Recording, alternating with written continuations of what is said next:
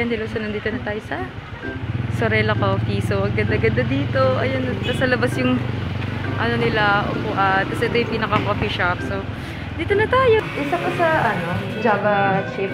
Java chicken din po. Ah, Ah, tapos- ba? Yung maliit lang. Pinaka Tapos, sa snacks. Thank you po. Sorry, may, ano, wag na lang pala yung ano, Java. yung Java, wag na lang. Kasi may non-coffee pala ko. eh. Ah, yung chocolate chip. Choco chip. Ah, yun pala lang. Golden po. Ah. Tapos, isa pa sa waffle. Sa nice. Parang garden yung ano nila. Siguro maganda dito pag gabi. Kasi wala. Ito, oras kasi ito. Ang ganda. Dito na everything. Come. Ba't ang bayat mo, baby?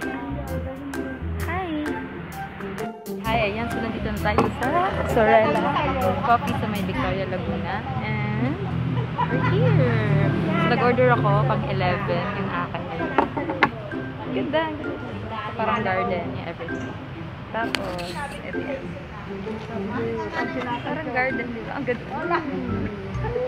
So, yun. Ang ganda ng setup nila dito. Tapos may light. Siguro kung hapon or gabi. So, dapat. So, ang ganda yan. And so, dito tayo.